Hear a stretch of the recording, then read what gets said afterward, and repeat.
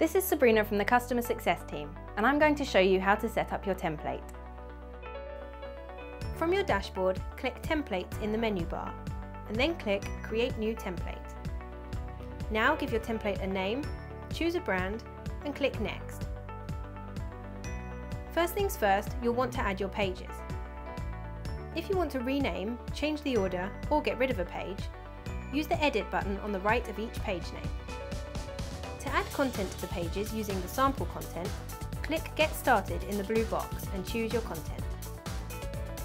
If you want to add content from scratch, or copy and paste from somewhere else, click No Thanks and use the Content Builder to add the different types of content you need.